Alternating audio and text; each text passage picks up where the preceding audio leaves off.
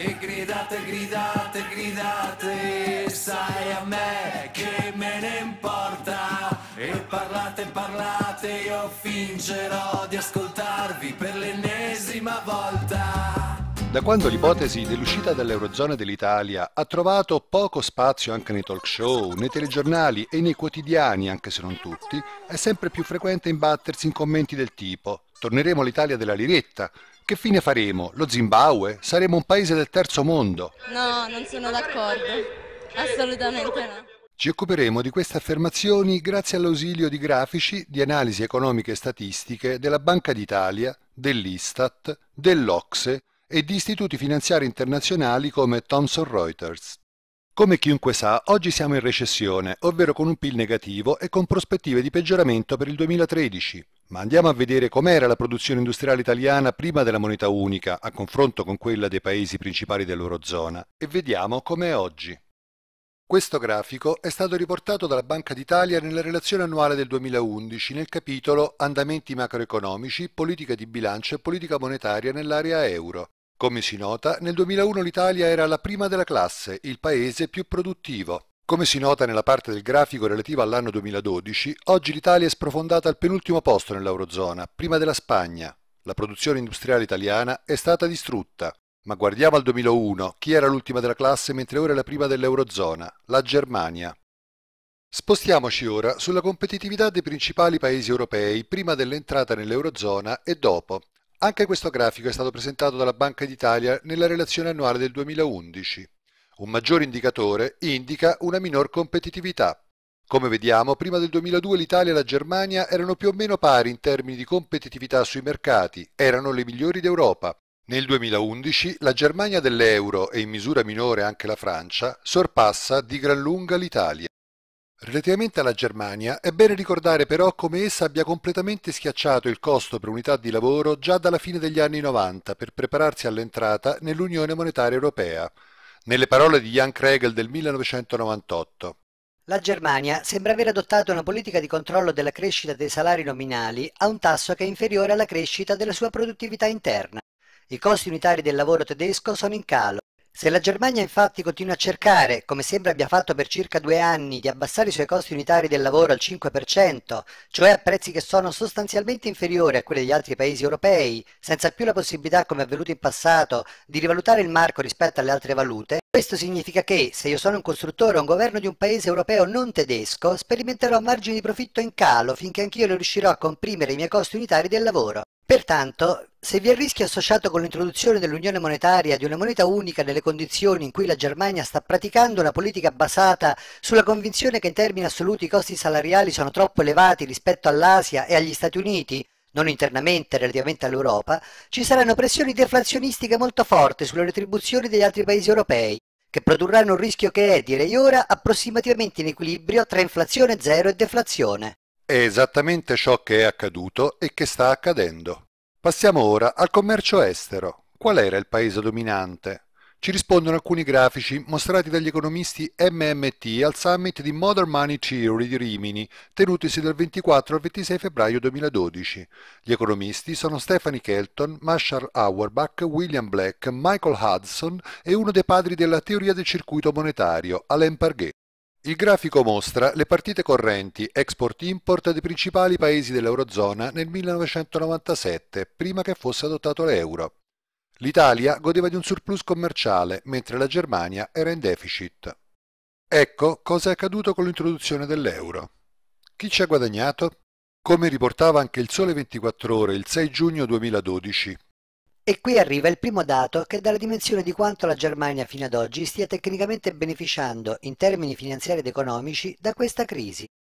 Nei giorni scorsi il Bund tedesco a 10 anni prezzava un rendimento dell'1,345% annuo, mai così basso nella storia.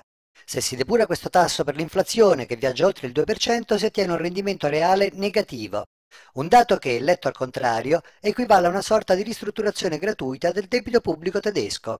Niente male come vantaggio in tempo di crisi, anche perché questo avviene mentre i vicini, quelli più a sud, annaspano, costretti a pagare rendimenti reali da record sul debito.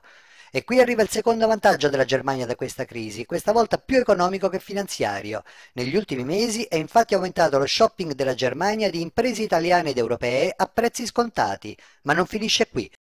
La Germania, quello stesso paese che nel 1997 pagava sui Bund a 10 anni un tasso del 5,5%, non lontano dal 6,1 dei BTP di quel tempo, funziona alla grande con l'euro. Lo dimostrano i dati sulla bilancia dei pagamenti correnti, che registra tutte le transazioni economiche di un paese tra residenti e non residenti, e quindi anche il saldo import-export. Dall'89 al 2000, quindi in piena fase pre-euro, la bilancia dei pagamenti correnti della Germania era in rosso per 126 miliardi. Dal 2001 al 2012, quindi in piena fase euro, comprendendo anche l'attuale l'attuale fase di crisi dei paesi periferici è balzata in positivo a quota 1.791 miliardi e l'Italia, prima dell'introduzione dell'euro, aveva una bilancia dei pagamenti correnti positiva, 53 miliardi, contro i meno 388 accusati nel periodo successivo. Altri argomenti privi di fondamento in cui è facile imbattersi sono quelli relativi al debito pubblico, agli eccessivi deficit di bilancio, all'inflazione degna di Weimar e quant'altro, Andiamo ora ad esaminare il problema del debito pubblico e quello dei deficit di bilancio. Un paese con piena sovranità monetaria ed una fiat money non può mai fallire neanche a fronte di debiti pubblici giganteschi. Ciò è stato oggetto di numerosi studi accademici e soprattutto da parte dell'economista Charles Goddard, professore alla London School of Economics che ha lavorato anche nel Bank of England Monetary Policy Committee dal 1997 al 2000. Anche l'ex governatore della Federal Reserve, Alan Greenspan, è dello stesso avviso. Treasury bonds still safe to invest in?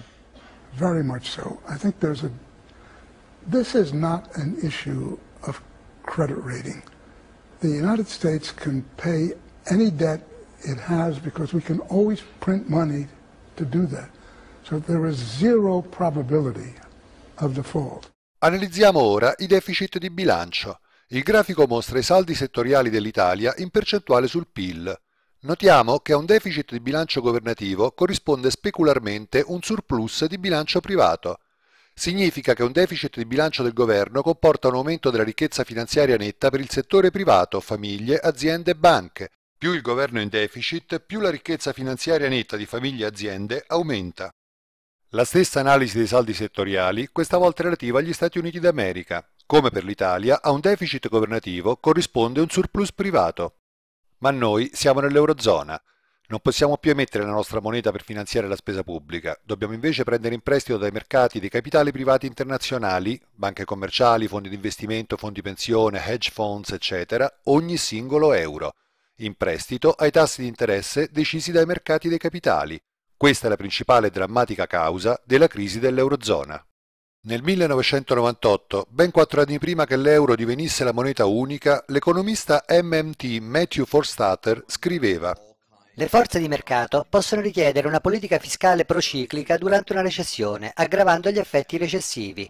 Anche se non ci fossero limiti imposti sul deficit dei paesi e dei debiti nazionali, la struttura dell'Unione Monetaria Europea rende quasi impossibile per un paese adottare una politica anticiclica di bilancio, anche se ci fosse la volontà politica.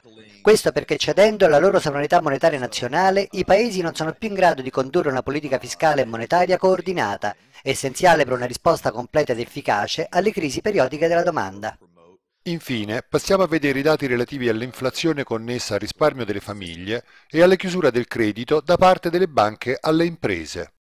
Attenendoci ai dati Istat, nel 1980 l'Italia aveva un'inflazione pari al 21,2%.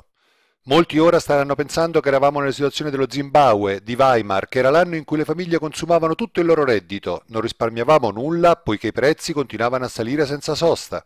Ma i dati ci dicono che anche questa idea è priva di fondamenta, che non regge. I dati Ocse mostrano che nel 1980 il risparmio delle famiglie italiane era il 25%, il più alto del mondo.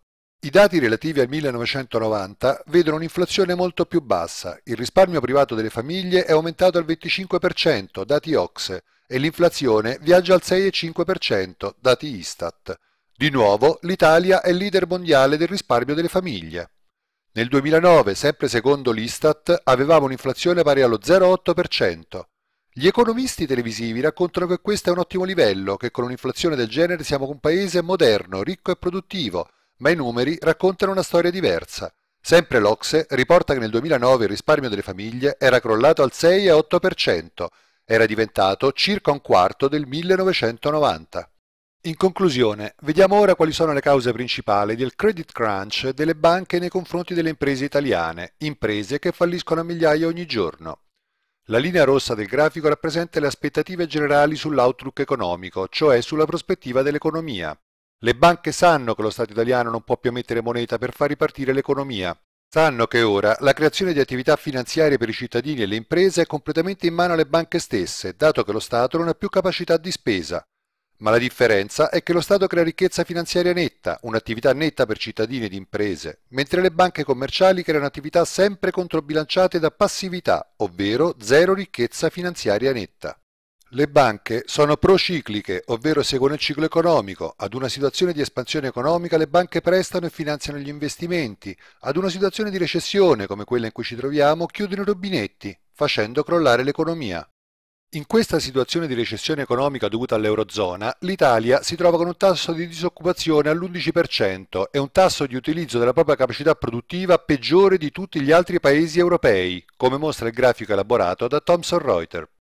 Il mito dell'Italia della liretta è un falso. Abbiamo visto come l'Italia della lira era l'Italia che entrò nel G7, l'Italia che con il suo export terrorizzava i tedeschi e l'Italia che era la prima economia europea per produttività industriale. Eravamo i leader delle economie europee. Dopo dieci anni di euro siamo tra i maiali d'Europa.